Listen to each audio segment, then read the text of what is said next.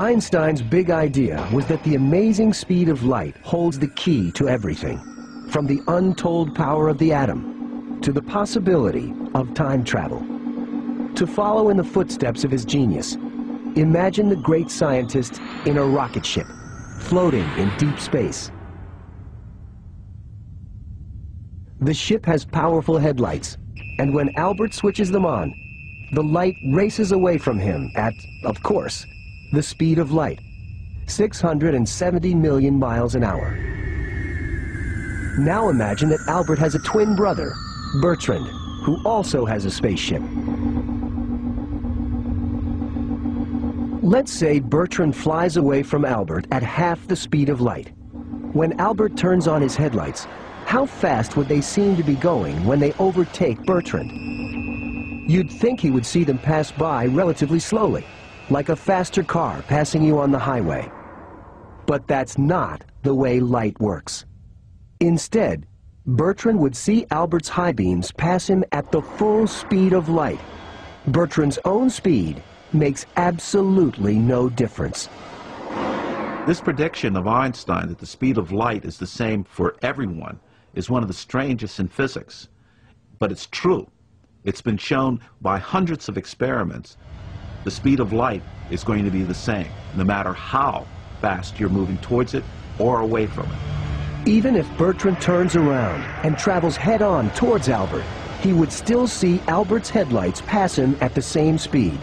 So what's going on? Welcome to the realm of time travel. If both brothers see light moving at the same speed, then something else must be changing. That something is time something has to give. And the things that have to give are space and time. It turns out that if an object is moving fast enough through space, it can alter its passage through time.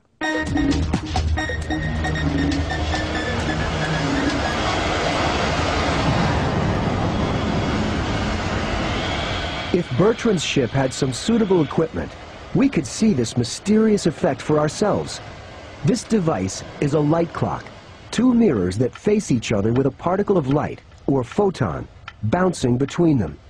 Each bounce is one tick of the clock, and in the right hands, such a clock shows directly how speed changes time.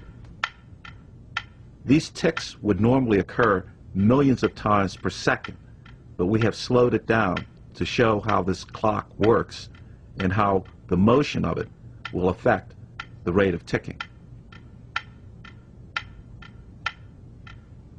You'll notice that the clock is ticking more slowly as I move it. Why is that?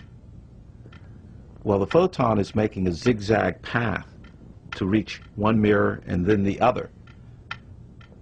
That's a longer path that the photon has to take. And that means that it takes more time to make that path so the clock is slowing down. This is where physics and science fiction collide. Time for the moving clock runs slow, although if you travel with it, like Bertrand, you're not aware of the change. That's because everything happening on board, including your heartbeat and your brain waves, would slow down by the same amount. The faster Bertrand travels, the further the photon has to go between ticks, and the slower time passes for him. So what might be an hour for Bertrand could be a hundred years for the rest of us. In effect, he would be traveling a hundred years